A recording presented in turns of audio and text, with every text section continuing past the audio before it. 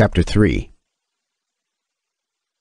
And on the six days of the second week we brought, according to the word of God, to Adam all the beasts, and all the cattle, and all the birds, and everything that moves on the earth, and everything that moves in the water, according to their kinds, and according to their types, the beasts on the first day, the cattle on the second day, the birds on the third day, and all that which moves on the earth on the fourth day, and that which moves in the water on the fifth day. And Adam named them all by their respective names, and as he called them, so was their name. And on these five days Adam saw all these, male and female, according to every kind that was on the earth. But he was alone, and found no helpmeet for him. And the Lord said to us, It is not good that the man should be alone. Let us make a helpmeet for him.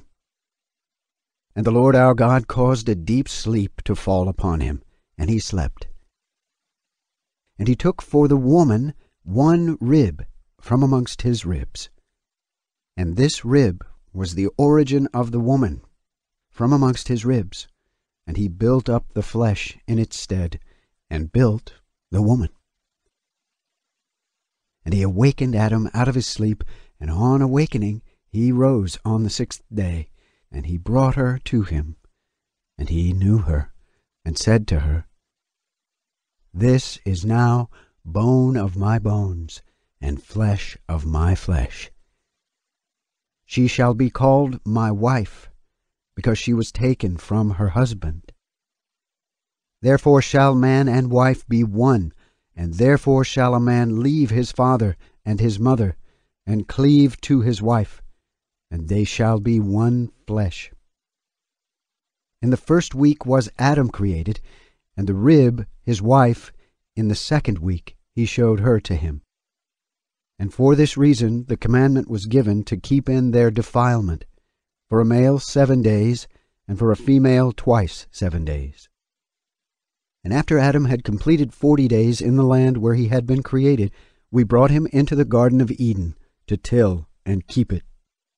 But his wife they brought in on the eightieth day, and after this she entered into the Garden of Eden.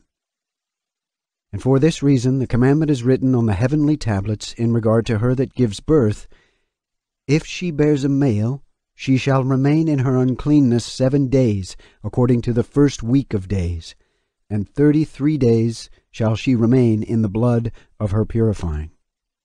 And she shall not touch any hallowed thing nor enter into the sanctuary, until she accomplishes these days which are enjoined in the case of a male child. But in the case of a female child, she shall remain in her uncleanness two weeks of days, according to the first two weeks, and sixty six days in the blood of her purification, and they will be in all eighty days. And when she had completed these eighty days, we brought her into the Garden of Eden, for it is holier than all the earth besides, and every tree that is planted in it is holy. Therefore there was ordained regarding her who bears a male or female child the statute of those days, that she should touch no hallowed thing, nor enter into the sanctuary until these days for the male or female child are accomplished. This is the law and testimony which was written down for Israel, in order that they should observe it all the days. And in the first week of the first Jubilee, one to seven a.m., Adam and his wife were in the Garden of Eden for seven years, tilling and keeping it. And we gave him work, and we instructed him to do everything that is suitable for tillage. And he tilled the garden, and was naked, and knew it not, and was not ashamed. And he protected the garden from the birds and beasts and cattle, and gathered its fruit, and ate, and put aside the residue for himself and for his wife, and put aside that which was being kept.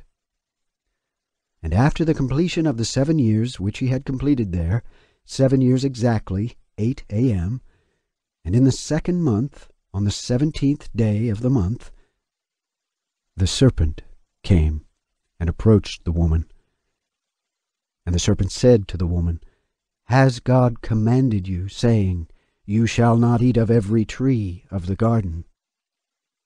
And she said to it, Of all the fruit of the trees of the garden God has said to us, Eat. But of the fruit of the tree which is in the midst of the garden God has said to us, You shall not eat thereof, neither shall you touch it, lest you die. And the serpent said to the woman, You shall not surely die. For God does know that on the day that you shall eat thereof, your eyes will be opened, and you will be as gods, and you will know good and evil. And the woman saw the tree, that it was agreeable and pleasant to the eye, and that its fruit was good for food, and she took thereof and ate. And when she had first covered her shame with fig leaves, she gave thereof to Adam, and he ate. And his eyes were opened, and he saw that he was naked. And he took fig leaves and sewed them together, and made an apron for himself, and covered his shame. And God cursed the serpent, and was angry with it for ever. And he was angry with the woman, because she hearkened to the voice of the serpent, and ate. And he said to her, I will greatly multiply your sorrow and your pains. In sorrow shall you bring forth children, and your return shall be to your husband, and he will rule over you.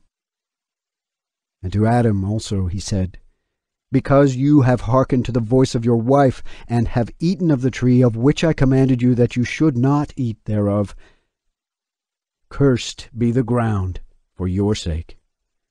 Thorns and thistles shall it bring forth to you and you shall eat your bread in the sweat of your face, till you return to the earth from where you were taken. For earth you are, and to earth shall you return. And he made for them coats of skin, and clothed them, and sent them forth from the Garden of Eden.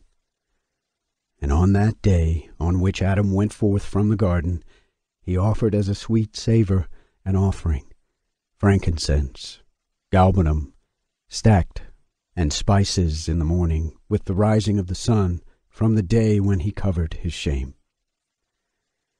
And on that day was closed the mouth of all beasts, and of cattle, and of birds, and of whatever walks, and of whatever moves, so that they could no longer speak. For they had all spoken, one with another, with one lip, and with one tongue.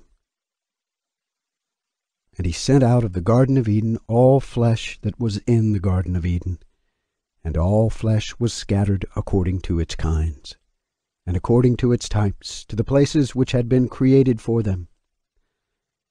And to Adam alone did he give the wherewithal to cover his shame, of all the beasts and cattle. On this account it is prescribed on the heavenly tablets as touching all those who know the judgment of the law, that they should cover their shame, and should not uncover themselves as the Gentiles uncover themselves.